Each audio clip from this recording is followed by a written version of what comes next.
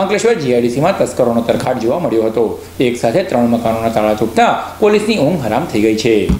અંકલેશ્વર જીઆઈડીસીમાં આવેલ પાંચસો ક્વાર્ટર્સ સોસાયટીમાં રહેતા કિરણ શ્યામવાલા આજરોજ વહેલી સવારે પોતાના મકાનને તાળું મારીને રેલવે સ્ટેશન ખાતે પોતાની માતાને લેવા ગયા હતા તે દરમિયાન તસ્કરોએ તેઓના બંધ મકાનને નિશાન બનાવી દરવાજાનું તાળું તોડી અંદર પ્રવેશ કર્યો હતો અને અંદર રહેલ સોના ચાંદીના ઘરેણા મળી દોઢ લાખના મુદ્દામાલની ચોરી કરી ફરાર થઈ ગયા હતા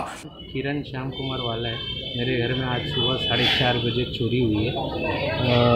चोरी में लगभग लगभग एक डेढ़ लाख रुपए का मेरी चोरी हुई है, जिसमें एक तोला सोने का चेन है पाँच छः ग्राम की मेरी लड़की का चेन है,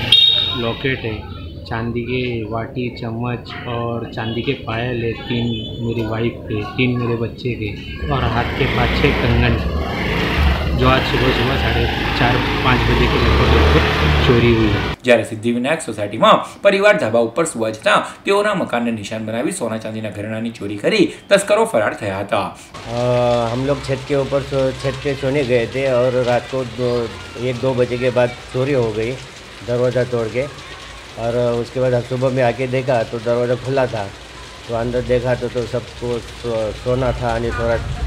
चांदी बिंदी था सब सामान बीमार बिक रहा था थोड़ा बहुत अ, था वो लेके गए તો યોગીનગર સાંઈ વાટિકામાં મકાનનું તાળું તોડી તસ્કરોએ અંદર પ્રવેશ કરી સામાન વેરવિખેર કર્યો હતો જો કે મકાનમાં કંઈ હાથ નહીં લાગતા તસ્કરો વિલા મોડે પરત ફર્યા હતા ચોરી અંગે જીઆઈડીસી પોલીસે ગુનો નોંધી તપાસ હાથ ધરી છે